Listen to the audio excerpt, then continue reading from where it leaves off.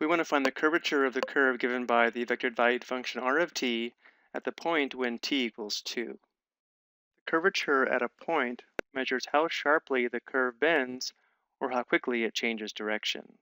As an example, the curvature of a line is 0 since a line does not bend or change direction, and the curvature of a circle is equal to the reciprocal of the radius, or 1 divided by r. More formally, the curvature measures how quickly the direction of the unit tangent changes with respect to a change in arc length s. So we can define curvature k as we see here, but notice how this requires the unit tangent vector to be defined in terms of s arc length, so we won't be using this formula, we'll be using one of these formulas here. More specifically, we'll be using this alternative formula for curvature, where we have the magnitude of the cross product of r prime of 2 crossed with r double prime of 2 divided by the magnitude of r prime of 2 cubed. Now before we do this, let's look at this graphically. Here's a graph of our space curve, and notice how this circle here would be called the circle of curvature at this point here on the curve, and therefore the curvature of the space curve is equal to 1 divided by the radius of this circle. The center of the circle can also be called the center of curvature. And we're trying to find the curvature when t equals 2.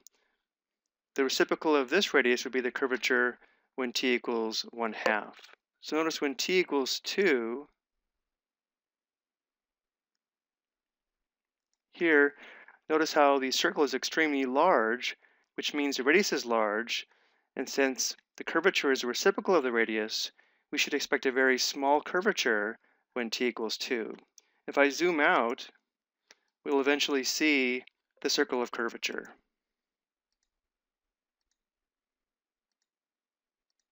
So here we finally see it, but we've zoomed way out, and therefore this radius is extremely large, again meaning the curvature will be extremely small. So we'll begin by determining our first and second derivatives of r of t, and then evaluate those vector functions at t equals 2.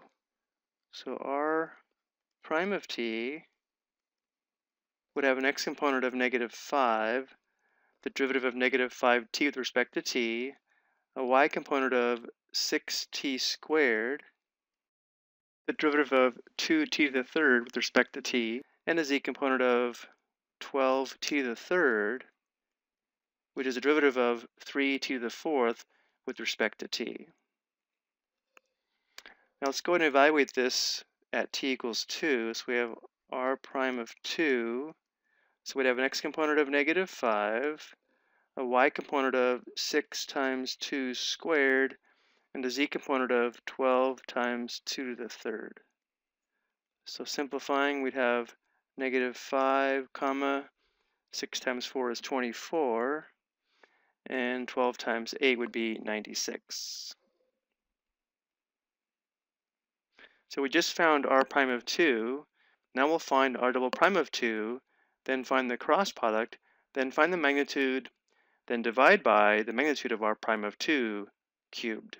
So r double prime of t would be equal to the derivative of r prime of t. So we'd have an x component of 0, a y component of 12t, and a z component of 36t squared. So now r double prime of 2, we'll substitute 2 for t. So we have an x component of 0, a y component of 12 times 2, and a z component of 36 times 2 squared. So we have an x component of 0, a y component of 24, and a z component of 36 times 4, which is equal to 144. So now we'll find the cross product of these two vectors. So we'll have r prime of 2 cross with r double prime of 2. And we'll go ahead and find this cross product using a 3 by 3 determinant and expansion by minors.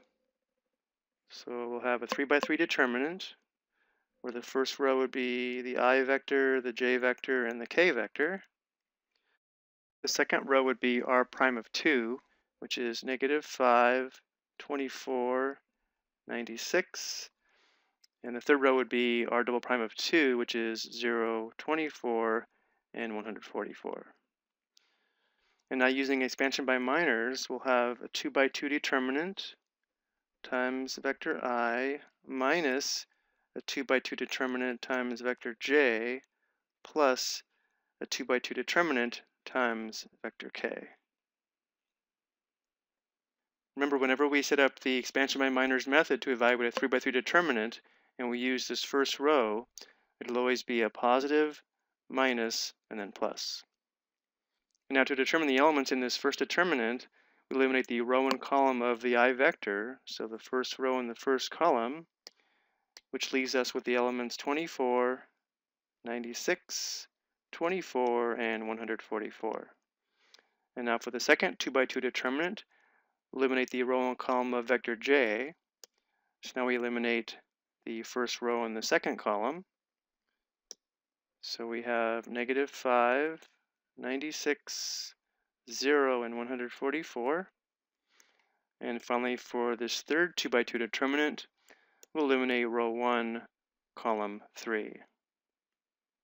So we have negative 5, 24, 0, and 24.